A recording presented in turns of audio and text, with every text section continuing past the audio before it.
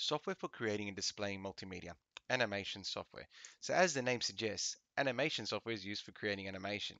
The software contains tools for the drawing of images, the creation of keyframes, the layering of objects, and the importing of other media. So what we're going to do is discuss some of the tools involved in animation software, and we're going to do this referring to a little animation that I've made. And the first thing we're going to talk about is the actual accessing of frames and keyframes. So we use frames and keyframes to enter images into our animation file.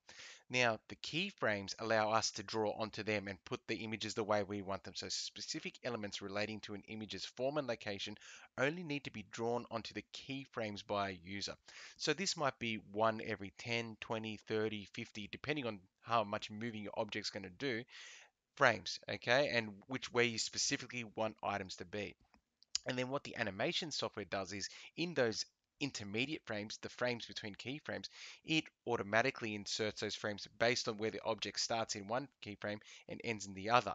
It figures out what the intermediate frames will be and it moves the object or changes its shape accordingly. So if you actually look at the, the animation in the middle of the screen, you can see the boat is in three distinct locations. It's at its highest point, at its most left point, and at its most right point. They are the three keyframes for the boat. And then what I've done is I've inserted a tween that then moves the boat between those three points. And it's the same with the waves as well. They're all set to move every 30 frames. Okay, and that's where the distinct three keyframes are 30, 60, and at 90 frames. I then inserted tweens that allow the actual animation software to create the intermediate frames to create this fluid animation.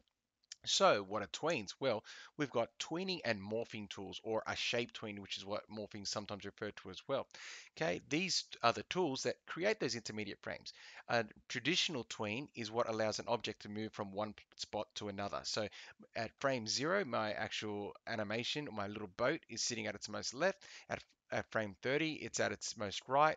At frame 60, it's at its highest point. And then back at frame 90, it's back at the beginning at the most left point. And that's how it loops around in this pattern. Okay, and that's all using a shape tween. The waves as well are also using a shape tween, going from left to right and slightly up and down as well, still only being drawn every 30 frames eh, in the same way. Morphing is slightly different and there's not a morph on display in this actual animation, but that would be if my boat then transformed into another shape. What it does is breaks apart its pixels and then allows those pixels to rearrange and change color into a completely different thing. So that would be, for example, if my boat suddenly transformed into a, a plane. Okay, its pixels all separated and then suddenly it was the shape of a plane. You can morph any image from one image into another, but once again, you need to establish that through the use of keyframes. All right, but that is how morphing or shape tweening differs from uh, part-based tweening. The next thing we need to use when doing animation is a timeline. The timeline allows us to establish where our keyframes are going to be, as well as can, uh, insert our actual uh, tweens into our actual animation. So you can see the starting point of my actual animation here from frames 1 to 30. You can see I have three layers, okay? A wave 1 layer, a wave 2 layer, and the boat all right? And that allows me to animate them all differently. That's why they're not all following the same path. It's because they're all on different layers and on those different layers, all seen as independent objects, okay? But the timeline itself allows us to structure and sequence the actual animated file. What I've done here is the different objects can be inserted onto the different layers of the timeline, the wave, the boat, and the second wave, allowing for the different objects to be mapped to different animated parts based on the actual layer. So I hope you can see that there that I have three layers going on and they're all mapped and animated in different ways to make it look like the waves and the water's flowing different directions and the boat is flowing on top. So the layers are extremely important. If I had two objects on the same layer, they would have to follow the same animation path. So we do have to split our objects onto different layers. Okay, the actual black dots on the actual timeline are my keyframes, and then the spaces between are the intermediate frames. And the fact that they're highlighted purple and have that arrow shows that I put in a motion tween, okay, which has been automating that actual pathway so the boat actually moves automatically between keyframes. The final thing that's built into animation software that's of note is that it has inbuilt programming languages like any other authoring software. And authoring software these days uh, for animation uses languages, mostly these days HTML5, though in the past, when the old Flash days, which is how I created that animation, ActionScript was also quite a popular language for the programming of animation.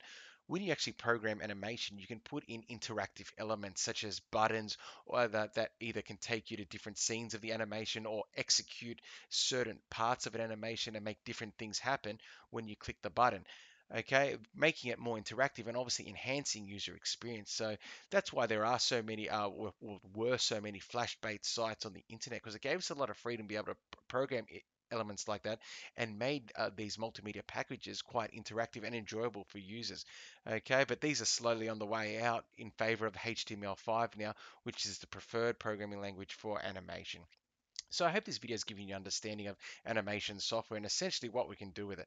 We can insert frames and keyframes.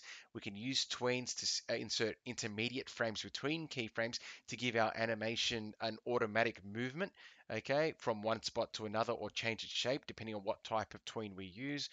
We uh, create and sequence our actual animation using a timeline and layers to separate objects and map them to different movement parts. And we can back it all and get really into the nitty gritty of our animation through programming with languages such as HTML5 and ActionScript.